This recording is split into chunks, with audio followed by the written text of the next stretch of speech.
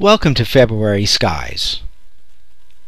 Look to the south after dark to see the constellation Orion, the mighty hunter. Within Orion is a beautiful treasure, a stellar nursery known as M42, the Orion Nebula. The Orion Nebula contains hundreds of stars, and more are being formed all the time. You can't see color when you look at the Orion Nebula. It looks like a grayish object with some structure.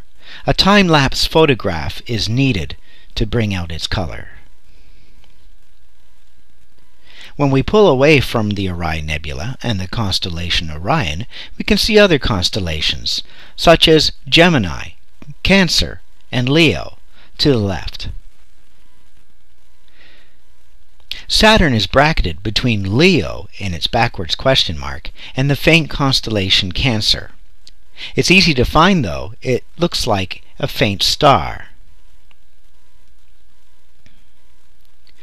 Zooming in on Saturn, you can see its rings and some of its moons.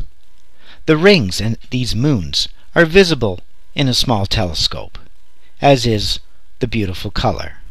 Saturn is a striking object you want to visit it time and again.